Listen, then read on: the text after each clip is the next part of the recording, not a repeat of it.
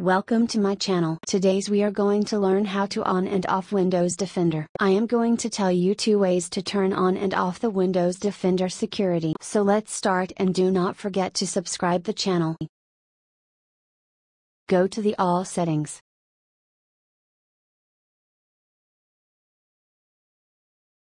Now click on the update and security.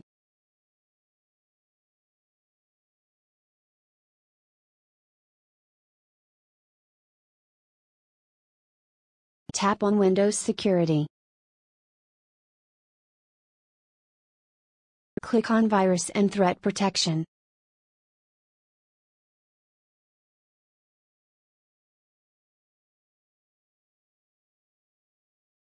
Now click on Manage Settings under Virus and Threat Settings.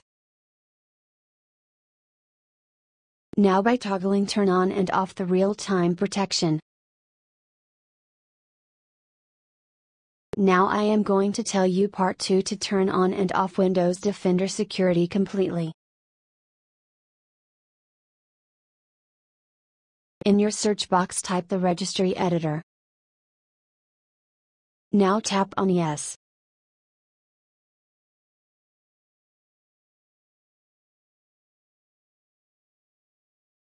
Tap on H key local machine.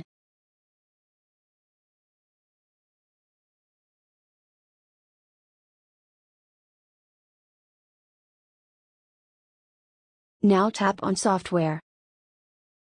Under the Software option look for Policies and click on that.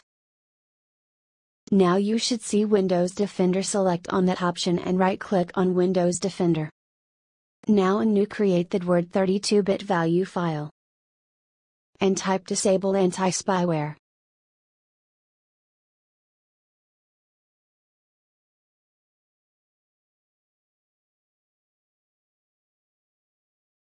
Click to type on that option. Now if the string value is 0 that means your Windows Defender security is on. And if you want to turn it off type 1 in the place of 0 and save this means your Windows Defender security will be off completely. But for that you need to restart your computer once. So this is how you can turn on and off Windows Defender security. If you have any query please let me know in comment box. Thank you for watching.